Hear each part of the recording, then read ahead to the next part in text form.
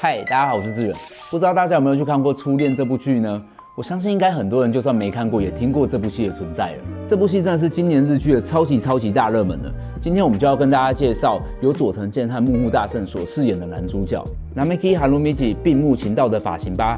在戏里面，并木行道总共有分成年轻时候的发型跟长大之后的发型。大家如果看到年轻时候的发型，就是他高中的时候，你会发现他头发都是有一点点偏长的，尤其是侧面跟后面，它是有一点点盖耳，然后后面有一点长度，尤其是刘海，它是有一点超过眼睛的。如果你想要用这个发型的话，我真的会建议你是要发量稍微多一点的人，你会发现他整体的头发是比较丰厚的，还有它的两边并没有往上推，它是有点盖耳的。那在整理造型上的话，我我个人会觉得抹一点点湿润的发型，让它产生线条感。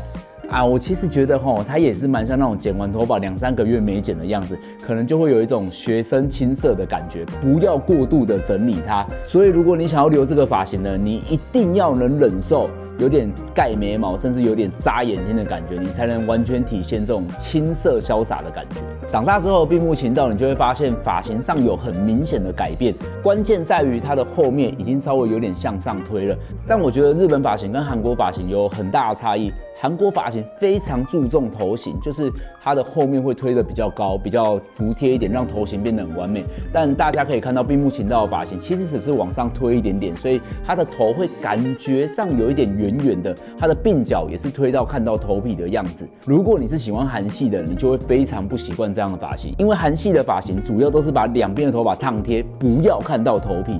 但是你可以看到闭目情道在后面跟两边都是稍微看得到头皮的。然后我觉得它。为了保留年轻时候的感觉，所以他的刘海也是比较偏长一点点。你可以发现日本的男生发型都是比较偏圆一点点，跟菱形一点点。像韩国的发型就是两边比较贴，后面也比较贴。但你会发现闭目情道发型都是有一点点圆圆的，而且发根是变得比较蓬松的。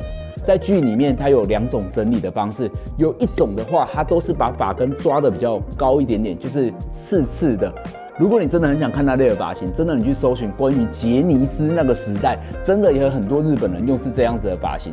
我个人觉得龙泽秀明也很常用这种发型，就是把头发抓的蓬蓬的、刺刺的，然后刘海是那种根根分明的感觉。如果你真的很想整理的话，你可以试着用一些无光泽的发蜡在头发上抓一抓之后，再喷定型液，就会产生很好的效果。在戏里面另外一个发型，我个人真的觉得。超帅的，真的是他戏里面感觉我最喜欢的样子。他的这个造型就是有一点点类似油头，但你会发现他的油头也不是全部往后梳，它是有一点点侧分的梳，然后没有看到分线，所以他大部分的头发是往后，旁边会自然的有点垂落。那你也会发现他跟欧美的油头还是有点不一样。他用的油头，我觉得他应该也是用发蜡抓出来的，因为你会发现他的油头并不是那种湿湿贴贴的，也没有感觉很服帖，两侧的部分也是有一点点蓬度。真的日本发型。就是喜欢有一点点圆圆的。那如果你是脸比较大的人，我个人会觉得蛮适合的，因为你的头发体积变大之后，脸也会感觉变得比较小一点。如果你想要整理出这样子的发型的话，干的发蜡和定型液，我想应该是你必备的。关键在于你的后脑勺。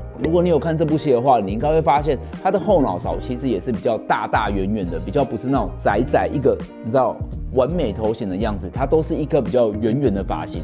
如果你要抓这颗油头的话，你的精髓一定要在不要过度的服帖。还有还有一个很大的重点，如果你没有鬓角的人，千万不要轻易尝试，因为如果这样子的发型又没有鬓角的话，可能真的会觉得有那么一点点呆呆的。在这里跟所有想变闭目型的人讲一下，如果你跟你的发型师说你想要剪这样子的发型，除了给他看照片以外，这个发型有很重要的地方，就是稍微打薄。你该会发现它的尾巴都是比较有点薄薄的、飘飘的，因为那会方便你造型品比较好抓。至于根部就是稍微比较厚一点点，而且层次感也是变得比较多一点点。比较薄的发型一定相对会让这样子的发型变得比较好整理的。看完这部戏之后，真的会立马立马马上想要变成日本人的发型跟造型，因为就是好像变那样，你知道，就会出现在剧里面的那种感觉。而且这部戏无论是编排啊，还是拍摄啊，我觉得整个画面都超级美。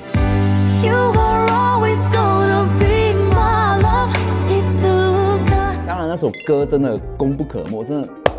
太好听了！如果大家真的看完这部戏的话，里面无论是造型的感觉，或者是拍摄的感觉，还有那些场景的转变，真的太美了。那至于感动的部分的话，我可能就是年事已高，就是学生的感动对我来讲，就是那个感动值还是没有到特别高的。但整体来讲，真的是很好看的一部戏。而且这部片真的是 Netflix 上面真的很少很少能在第一名这么久的日剧。